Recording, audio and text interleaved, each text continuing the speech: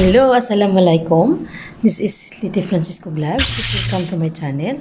Today, I is I want to show the things that I brought yesterday to pasalubong sa mga pamilya, guys. I brought a lot of perfumes, guys. So, I want to show you now.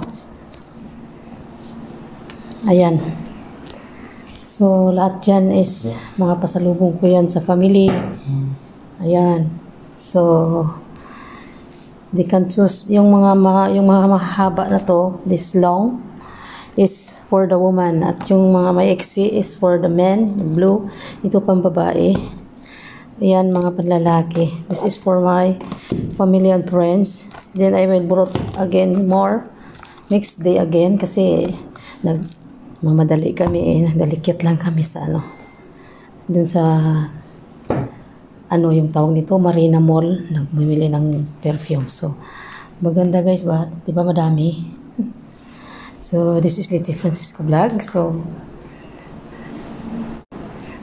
ayan guys. Yan, mga pasalubong ko yan sa family ko, sa mga kapatid, sa mga kaibigan. Ano to, 20 pesos to guys kahapon. So, dagdagan ko na naman mga ibang items na naman. Ito, So, itong mga mahahaba is mga, ano yan, yung pambabae. Yan mga is panlalaki. Yan sila. So, yan. Ipapakargo ko yan. Mag-iipon ako ng iba-iba pang items. Dress, watches, jewelries. Yan. Ipapakargo ko next, ano, next week. So, yan. Okay, so thank you so much for watching guys and uh, please subscribe and likes all my videos guys. And uh, click the bell notification to update all my videos guys. Ayan. So I plan also to buy this for raffles for to my channel later.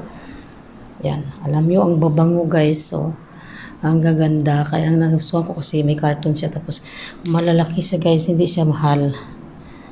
Okay. This is my pasalubong August 15.